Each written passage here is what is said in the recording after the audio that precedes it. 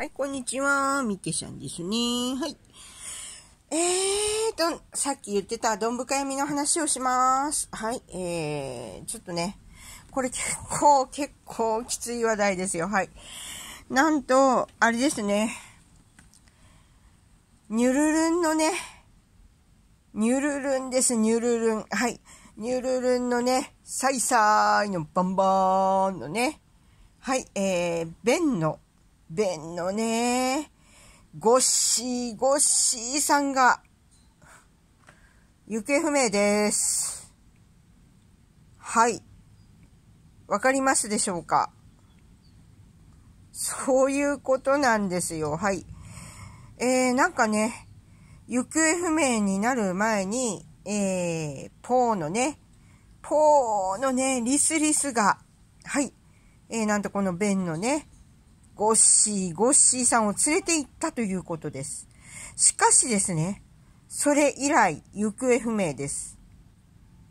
これは、イギーの、イギーの方ではなくて、イギーのリスリスの方ではなくて、最初の方です。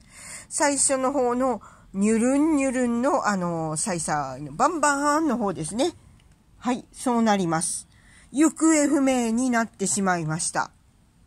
わかりますか？この闇の深さ。はい。この闇の深さわかりますでしょうか？で、私が2日前かな？あ、イギーのリスでね、ニュルンルンのね、サイサイのバンバーンがね、こう、昨日早々されたっていうことを言ったら、えー、ご、ご無事であることを祈ります、みたいなこと言ったらね、えー、光しかいないから大丈夫だみたいなバカなことを書く人間がいます。はい。そんなことはありません。もう闇が暗躍してます。暗躍しすぎてひどいです。はい、えー、ベンのゴシゴシさんも連れ去られてしまいました。ニュルンニュルンの。そういうことでございます。本当にどん深闇です。この意味わかるでしょうか？もうね、いい加減ね、えー、夢から覚めてください。そういう人たちは。はい。えー、自分の情報源を疑った方がいいです。今そういう状況です。はい。今そういう状況なんです。ベンのゴシゴシさんが連れ去られて行方不明です。はい。そういう状況になってます。しかもニュルンニュルンのね、えー、市民側のベンのゴシゴシさんです。はい。はいもう、もう言葉が出ません。あもうどん深闇です。本当に深いです、闇が。はい。えー、この後に及んでね、光うんちゃらとか言ってね、大丈夫大丈夫なんて言ってる人は、本当に、あのー、お花畑だと思ってます。はい。えー、もうちょっと、あの、目を覚ましてください。そして、脳みそを活用してください。それで自分が取ってる情報源っていうのが、本当に闇なんじゃないかっていうふうに、あの、もう一回、こう、考察し直した方がよろしいと思います。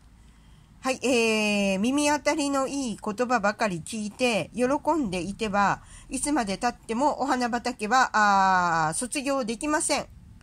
はい、そういう人たちに私は警告します。はい、そういうことです。ニュルンニュルンの、おベンベンのゴシゴシさんですね。連れ去られて行方不明です。はい、えー、この闇の深さ、わかるでしょうかはい、そういうことです。はい、それでは皆さんまたごきげんよう。沖縄おばばでした。とりあえずこの記事も貼っときます。